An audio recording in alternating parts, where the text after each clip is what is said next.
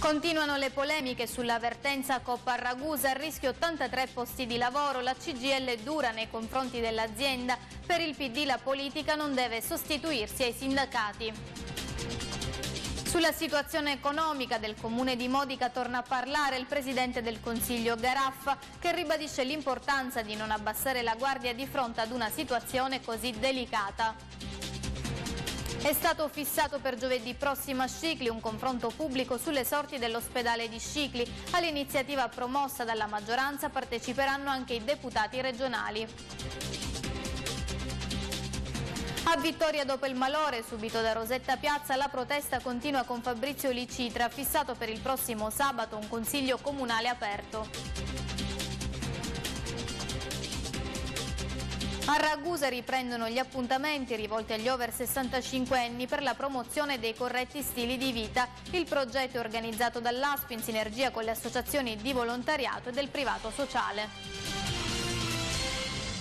Bentrovati con l'informazione di Canale 74. Continuano le polemiche sull'avvertenza Coppa Ragusa. A rischio 83 posti di lavoro, la CGL dura nei confronti dell'azienda. Per il PD la politica non deve sostituirsi ai sindacati. Vediamo. A Ragusa tiene banco l'avvertenza Coppe Sicilia con il rischio di 83 licenziamenti solo nel capoluogo ebleo. Sulla difficile situazione che stanno attraversando i dipendenti dei punti vendita della Coppe interviene anche il segretario generale della Filcams CGL di Ragusa, Salvatore Tavolino, che critica duramente l'azienda. Da tempo, afferma Tavolino, come organizzazioni sindacali chiedevamo un tavolo che ponesse al centro un piano di rilancio industriale, invece Coppe Sicilia si è limitata ad applicare piani di flessibilità senza senso e che hanno messo ancora di più in difficoltà l'organizzazione del lavoro già troppo ridimensionato. Mai abbiamo nascosto le criticità che attraversano i punti vendita, continua Salvatore Tavolino, ma abbiamo chiesto un'inversione di tendenza anche rispetto ai piani commerciali, ma la risposta è stata quella di presentare un esubero di 273 lavoratori. Dietro quella parola esuberi ci sono lavoratori, mamme, famiglie che hanno costruito progetti, sogni che oggi sono spezzati. Non può Coppia Sicilia uscirsene come se niente fosse, lasciando centinaia di lavoratori senza occupazione. Nei prossimi giorni, spiega ancora il segretario CGL, saremo impegnati ad avviare trattative su diversi fronti. Auspichiamo, conclude il segretario generale della Filcams CGL di Ragusa, che Coppe voglia davvero porsi l'obiettivo di rilanciare il comparto e di ravvedersi circa alla chiusura di alcuni punti vendita. Sulla vicenda è intervenuto anche il PD ragusano con un comunicato a firma dei consiglieri D'Asta e Chiaula.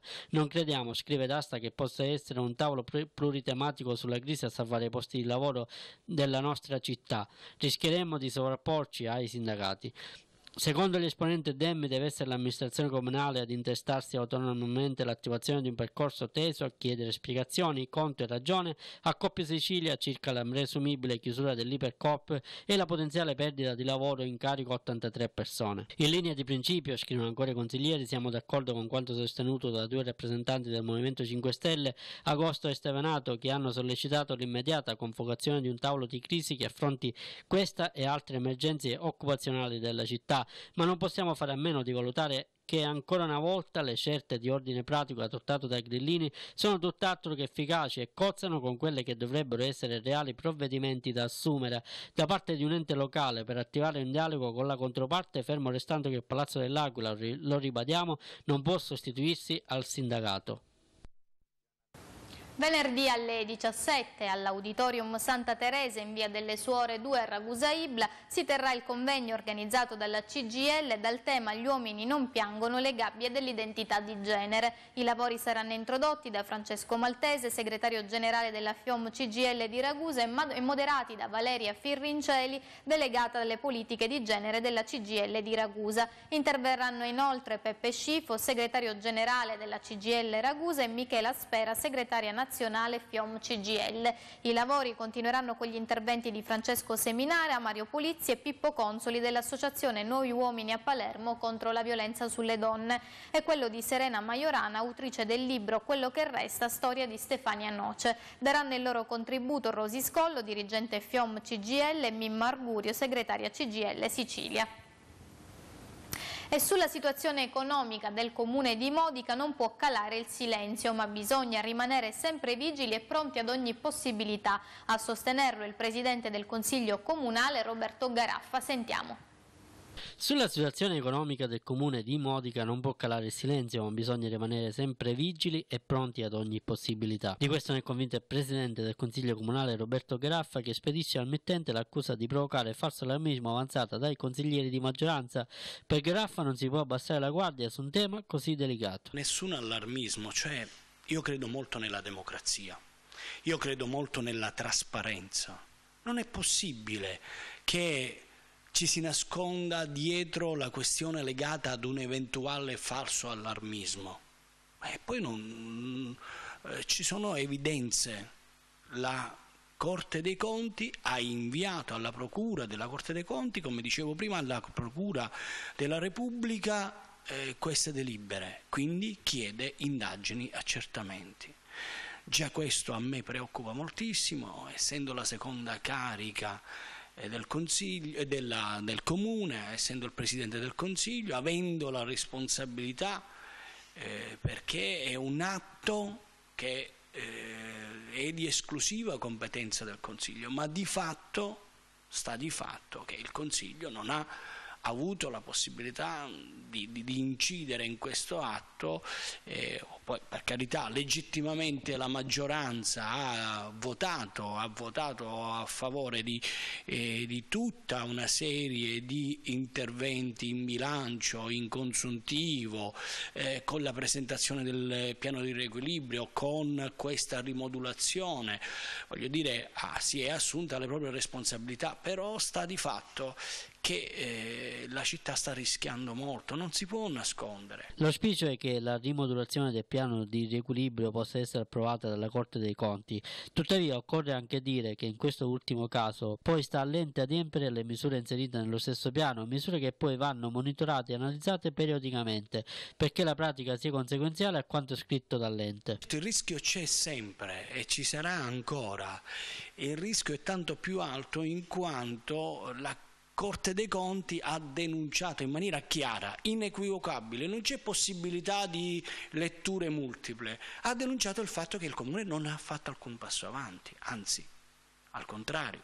Quando si parla di anomalie gestionali non, non lo si dice a caso o in via generale, si affronta, la Corte affronta punto per punto evidenziando le anomalie, evidenziando che le giustificazioni che sono state presentate dal Sindaco non li ritiene eh, valide, non li ritiene abbastanza convincenti. Insomma, ora che il piano è al vaglio della Corte dei Conti non si può stare con le mani in mano in attesa del responso, occorre prepararsi a tutte le possibilità. A Pozzallo i carabinieri hanno arrestato un minorenne per il reato di spaccio di sostanze stupefacenti, trovato nella sua stanza uno zaino con 250 grammi di droga. Nella giornata di sabato scorso i carabinieri della stazione di Pozzallo e di Marina di Modica, nell'ambito di un servizio antidroga eseguito sul territorio di competenza, in particolare nei pressi dei luoghi maggiormente frequentati e punto di ritrovo dei giovani dove sono state effettuate diverse perquisizioni, hanno tratto in arresto un giovane di 17 anni per il reato di spaccio di sostanze stupefacenti. I militari avevano posto sotto osservazione la casa del minorenne dove si registrava un via vai sospetto di giovani. Quando hanno proceduto alla perquisizione, i carabinieri hanno trovato, ben nascosto nel nella sua camera da letto uno zaino con all'interno un involucro contenente circa 230 grammi di sostanza stupefacente del tipo marijuana ed alcune banconote di piccolo taglio per un totale di 100 euro, verosimilmente provento dell'attività di spaccio. A questo punto, accertate le responsabilità del minorenne, i militari lo hanno condotto in caserma e lo hanno dichiarato in arresto per il reato di detenzione ai fini di spaccio di sostanza stupefacente. Al termine delle formalità di rito, il giovane è stato tradotto presso il centro di prima accoglienza per minori di Catania Catania, come disposto dal sostituto procuratore di turno presso il Tribunale dei minorenni Etneo. Lo stupefacente è stato sequestrato dai carabinieri e sarà successivamente inviato al laboratorio di analisi dell'ASP di Ragusa per i risultati qualitativi e quantitativi al fine di stabilirne con precisione le dosi ed i guadagni che si sarebbero potuti ricavare dall'attività di spaccio. L'Agenzia delle Entrate di Ragusa avrebbe pronte migliaia di comunicazioni che saranno a breve consegnate per i proprietari di immobili abusivi che risultino trasparenti alla tassazione. Lipparino è in testa alla classifica col maggior numero di edifici abusivi, mentre Pozzallo risulta il comune più meritevole. In arrivo anche sostanziose sanzioni. Vediamo. Sarebbero circa 7.000 i fabbricati nel territorio ragusano che non risultano dichiarati dai proprietari e che sarebbero quindi totalmente invisibili per il fisco sfuggendo a qualsiasi forma di tassazione.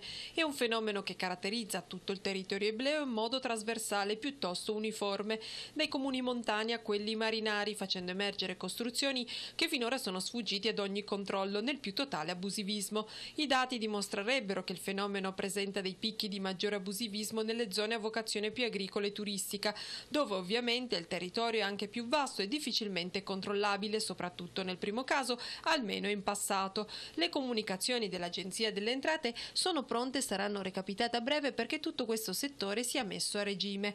L'elenco dei fabbricati definiti fantasmi è stato suddiviso per comune dimostrando quanto sostenuto. Infatti 4.576 mobili sono stati identificati nel territorio di Vittoria che risulta quindi in testa a questa classifica.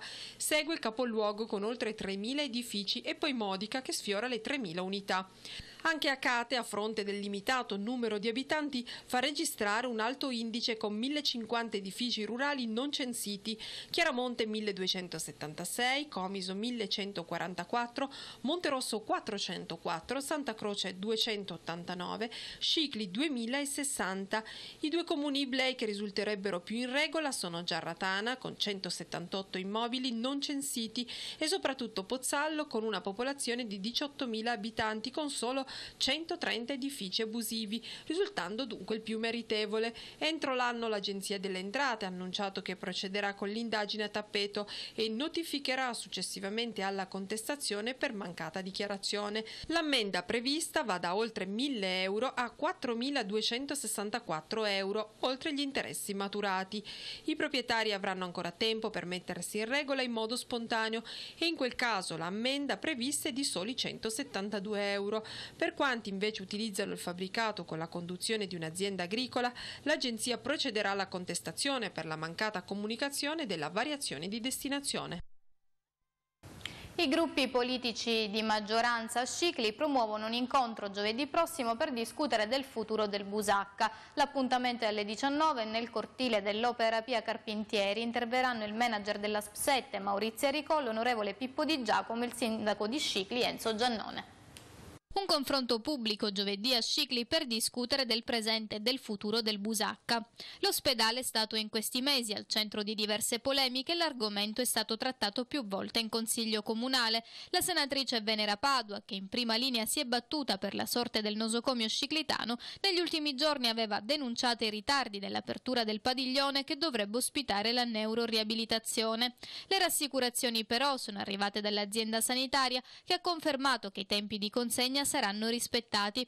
Per promuovere il dibattito sul tema, Scicli Bene Comune, Start Scicli, Cittadini per Scicli e Città Aperta, come coalizione di movimenti politici che oggi sono al governo della città, hanno quindi organizzato un incontro pubblico in cui tutte le forze politiche e sociali, ma anche tutti i singoli cittadini, potranno esprimere la loro opinione e interloquire con le istituzioni.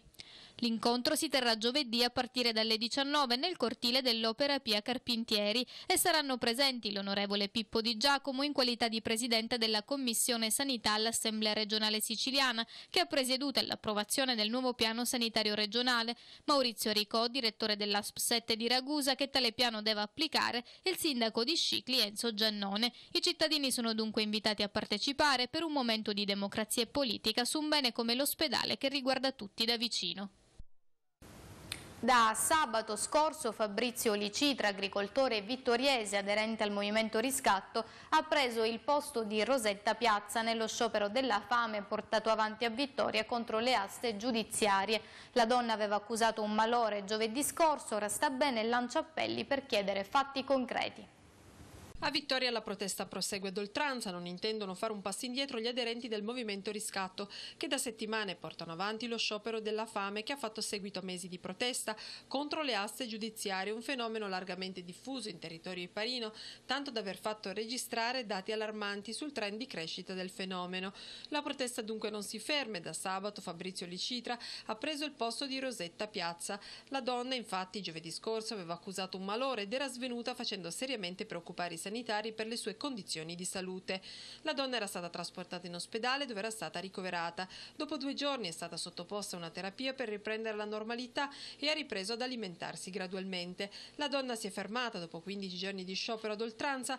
Un'altra donna che aveva iniziato con lei, Paola Donzelli, aveva interrotto dopo solo qualche giorno lo sciopero della fame a causa di problemi di salute. Il suo posto non è comunque rimasto vuoto immediatamente, il posto è stato preso da Fabrizio Licitra, agricoltore di Vittoria, anch'esso iscritto al movimento Riscatto. Rosetta Piazza ora sta meglio, ma continua a lanciare appelli alla comunità iparina iblea e soprattutto alle istituzioni e alla politica, chiedendo loro che il suo sacrificio e quello dei prossimi del movimento che proseguiranno lo sciopero della fame non venga vanificato. Le dimostrazioni di solidarietà non sono mancate da parte di tanti, ma ora i manifestanti chiedono che alle parole seguano fatti concreti. Intanto il presidente del Consiglio Comunale di Vittoria, Andrea Nicosia, unitamente a tutta la giunta ha organizzato un Consiglio Comunale aperto che si terrà in Piazza Gramsci il 10 giugno con la presenza della deputazione regionale e nazionale. Ci auspichiamo una presenza massiccia di sindaci all'evento, affermano i rappresentanti di Movimento Riscatto. Comunichiamo che continueremo la lotta ad oltranza, attendendo di essere convocati con uenza dalle commissioni agricoltura, giustizia e antimafia. Le sole promesse questa volta non basteranno, pretendiamo i fatti. Scadono venerdì prossimo a Comiso i termini per presentare domanda di rottamazione dei tributi. Per il vice sindaco si tratta di uno strumento importante in favore dei cittadini. A Comiso scadranno il 9 giugno prossimo i termini per la presentazione delle istanze per la definizione agevolata del pagamento dei tributi arretrati. Su proposta dell'amministrazione comunale, infatti, nella seduta dello scorso 29 maggio, il Consiglio comunale ha esteso i termini per consentire di ricorrere allo strumento che elimina le sanzioni previste a chi non ha saldato in tempo quanto dovuto. Entro il 14 luglio l'ente comunicherà a chi farà richiesta di rottamazione gli importi da pagare e le date delle rate previste. Questo provvedimento, spiega Gaetano Gaglio, vice sindaco con delega a bilancio, completa le misure in favore dei cittadini contenute nel bilancio previsionale 2017 deliberato lo scorso 18 maggio con interventi a sostegno dello sviluppo economico delle imprese del turismo, con segnali importanti a sostegno della cultura e dello sport con il contenimento della spesa corrente e con il rilancio delle opere pubbliche. Al rilancio economico ed occupazionale che sarà assicurato dalle misure di sostegno delle attività produttive e delle opere pubbliche in previsione per oltre 3 milioni di euro, spiega ancora Gagliano, siamo riusciti ad affiancare attraverso una tenace e paziente opera di rifunzionalizzazione del servizio e grazie ai grandi successi della raccolta differenziata una riduzione del 10% medio dei tributi sui rifiuti. Secondo Gagliano non soltanto i comisani beneficeranno finalmente di segnali concreti al primo anno di azione post dissesto finanziario, ma registreranno anche un alleggerimento del carico fiscale. Oltre alla diminuzione generalizzata delle tariffe, infatti, continua il vice sindaco, abbiamo ripristinato come promesso le agevolazioni introdotte e congelate lo scorso anno per effetto della normativa sulla Tari. Il Dipartimento Famiglia della Regione Sicilia sta avviando verifiche incrociate per scovare possibili falsi invalidi e garantire il sostegno economico previsto per l'assistenza ai disabili gravissimi solo per chi ne ha realmente bisogno. Dalla Regione arriva l'annuncio di una lotta serrata per scoprire i cosiddetti falsi invalidi, vita dura quindi per tutti quelli che negli anni, con escamotaggio producendo false documentazioni, hanno attestato disabilità gravissime, senza esserne realmente affetti. Il Dipartimento Famiglia sta avviando verifiche incrociate tra i dati INPS, Istat, TASP e ANCI, l'Associazione dei Comuni. A spiegarlo è l'assessore regionale alla famiglia Carmenzita Mangano, che ha sottolineato di aver attivato un'intesa con diversi enti, dando il via alle procedure per la ricerca di dati e casi. Lo scopo dell'assessorato è quello di far emergere tutti i nomi e di conseguenza anche numeri precisi e reali di quanti sono i siciliani con disabilità gravi. Oggi la riunione della consulta regionale per i disabili convocata dall'assessore. Al centro del vertice anche il nuovo osservatorio sulle disabilità che avrà il compito di coordinare la raccolta dei dati. Dopo le proteste dei tanti disabili siciliani, la regione quindi sembra mantenere le promesse prese in prima persona dal presidente Rosario Crocetta. Dopo essere riusciti a trovare la copertura in finanziaria, il mese scorso si era aperto il via per richiedere gli aiuti. Anche chi non è iscritto negli elenchi di ASPE comuni potrà ottenere i 1.500 euro mensili, infatti presentando regolare domanda. Proseguono gli appuntamenti promossi dall'ASP e dalla rete I Petali del Cuore per promuovere corretti stili di vita tra gli over 65, con incontri e interventi che mirano a sensibilizzare più anziani sui temi della prevenzione, la salute e il benessere. Riprendono gli appuntamenti rivolti agli over 65 anni per la promozione dei corretti stili di vita. Il progetto di promozione alla salute è stato messo in atto da Vincenzo Trapani, responsabile progettuale e direttore della UOS Educazione alla Salute dell'ASP di Ragusa, in sinergia con le associazioni di volontariato e del privato sociale che fanno parte della rete I Petali del Cuore, con la quale l'azienda sanitaria di Ragusa ha sottoscritto un protocollo d'intesa.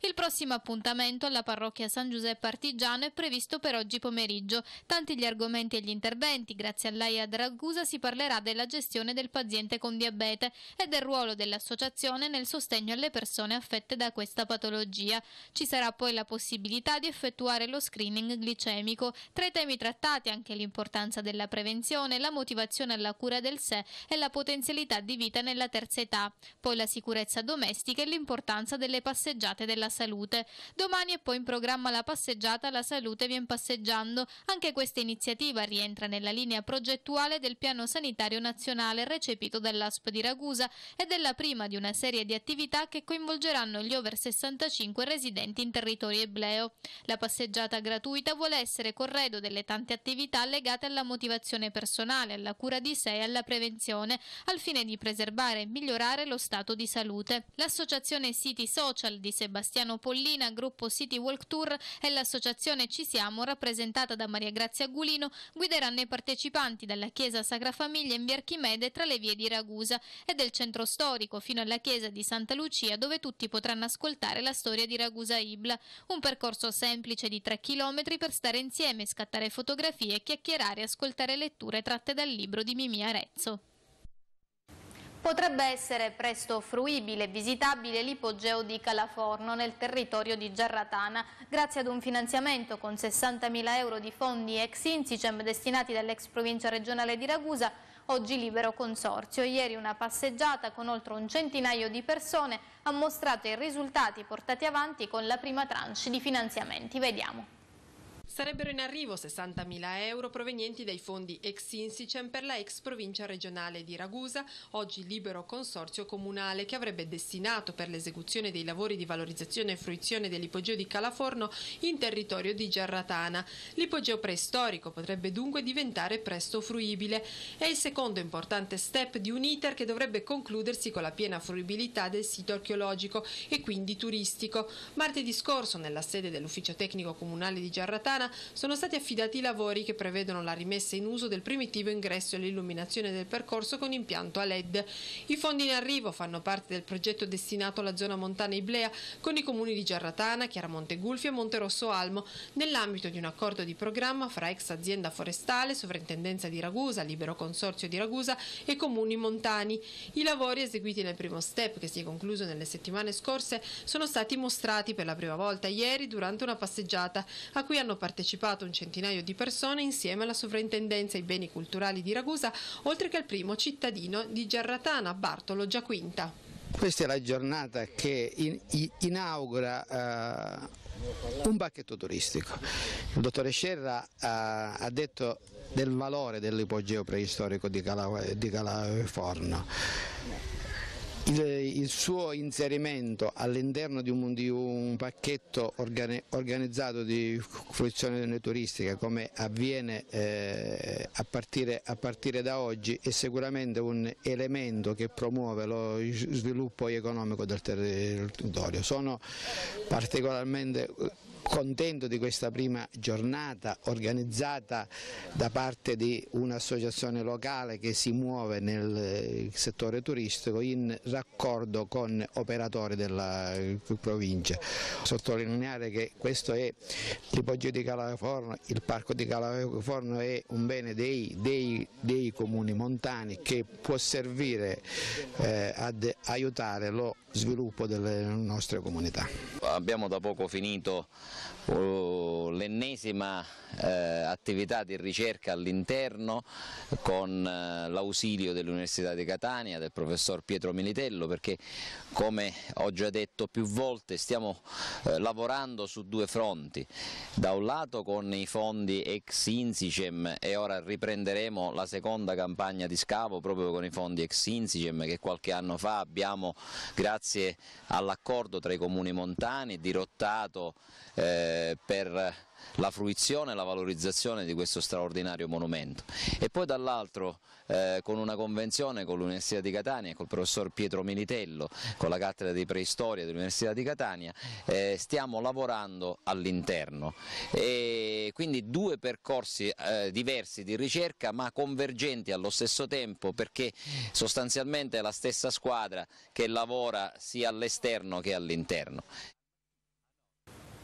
Circa 700 gli atleti e le atlete che tra sabato e domenica si sono sfidati sui tatami di Riccione nel campionato italiano cadetti under 17 di judo. Tra questi anche allievi della Judo Club Koizumi Scicli del maestro Maurizio Pelligra e della Mifune Judo di Modica del maestro Daniele Alfano. Lo ciclitano Filippo Ciccerella di 16 anni della Koizumi è salito sul gradino più alto del podio conquistando così il titolo di campione italiano 60 kg categoria cadetti. Ottima anche la prestazione dell'allievo della Koizumi Giovanni Donzella categoria 60 kg che si è classificato settimo su 74 partecipanti. Buone prestazioni anche per Thomas Nicotra e Vincenzo Portelli.